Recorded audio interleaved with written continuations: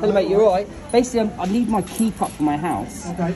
Uh, I'm just wondering, could you do it for me? Yeah, I can do it for you. Is that right? We do three types. So we do a standard, uh, a standard key, which is six pounds, Uh-huh. two for nine, or three eight.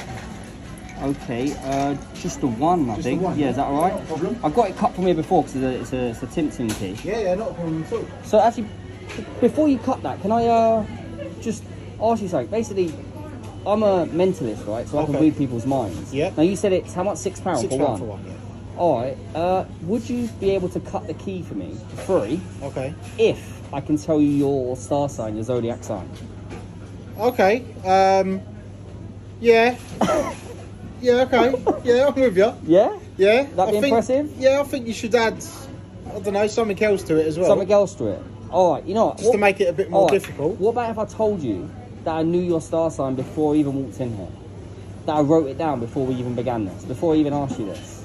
I don't believe so, but we can go with it. You don't let's, believe let's give it a go. Yeah. Yeah? Yeah. So it's a deal. Okay. It's a deal. It's a deal. Yeah, it's a deal. See, the thing is, I wrote something down on my hand, right? And I'm filming this, by the way. Is it right if I film? Okay, it? yeah, that's fine. Yeah, Yeah, that no, that's right? right, yeah, that's all right, I don't have to blur your face now, so all it's good. it's So I wrote something down on my hand before I even walked in this shop, right? Okay. What is your star sign? Sagittarius. Sagittarius, yeah? Yeah. There's no way I could have known that, is there? Well, not that I can. Well, not that I'm aware of, anyway. See, look what I wrote down. Okay. Free key. No? Okay. he's not yeah. impressed, he's not impressed. need No, no, no, he's the not second part now. I think. Oh, right, look. So Sagittarius. So that tells me that you're born at the end of the month, yes? Yeah. So now I don't know the exact date you're born, do I? No. Okay, look.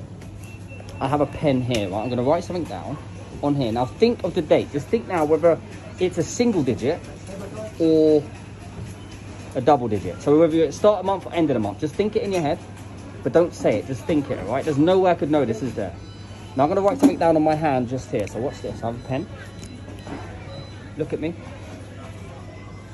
I think, if I'm correct, this is going to be it. This here.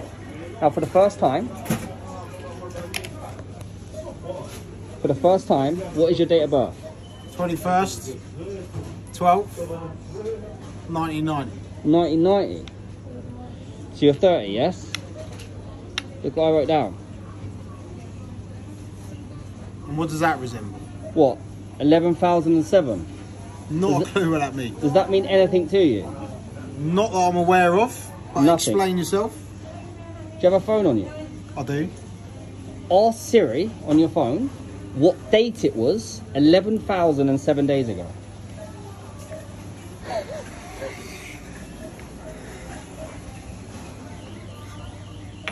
Ask Siri. Siri, what was the date? Eleven thousand and seven days ago.